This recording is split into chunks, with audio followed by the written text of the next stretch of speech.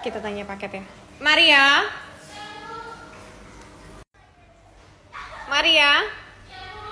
Maria. Maria. Maria. Maria ada paket gak?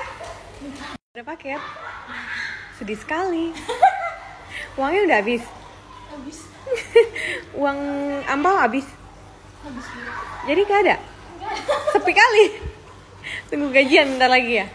Masih jauh. Masih jauh. Ya udah. Oke. Nggak ada paket guys. Uang Maria habis.